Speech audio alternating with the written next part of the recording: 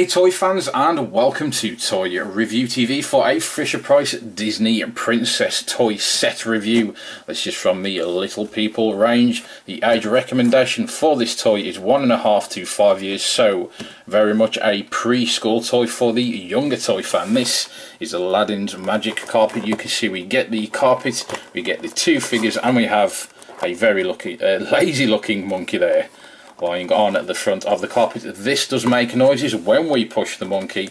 We shall check all of that out very shortly. Expect to pay 16 99 for this here in the UK. You do have to purchase two AA batteries when, of course, the display batteries run out, so you will not have to purchase batteries straight away, but the batteries included do not last very long, so please do keep that in mind. But let's take this off the packaging and see exactly what it can do. And here it is, we do have Abu and Jasmine there alongside Aladdin. Here is Jasmine, let's have a look at her. She's looking very shiny with this shiny blue dress on and gold earrings. We also have Aladdin, of course, holding the very important lamp in his hand there. You can see those are the spaces to put Aladdin and Jasmine. They will just slot into the front.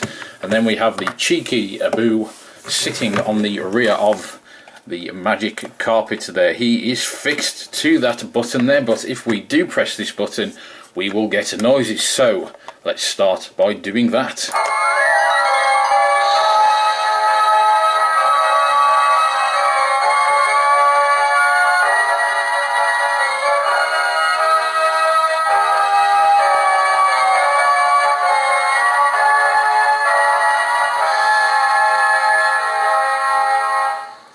And there you go, that is the music you will get every time you push uh, Abu down on the magic carpet. We do get wheels underneath, and you can see the battery compartment and where the music will come out of. Now this wheel is off centre. You can see it doesn't move properly. That has a purpose. As you can see, when you push the carpet along a surface, it will go up and down like it is moving through the clouds of which you can see there is a big cloud underneath.